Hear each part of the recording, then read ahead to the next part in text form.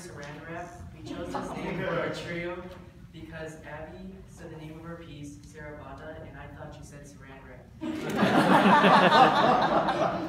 The composer of our piece's name was um, Corelli, and he was born in Italy and composed Baroque music. A sarabanda is a type of dance.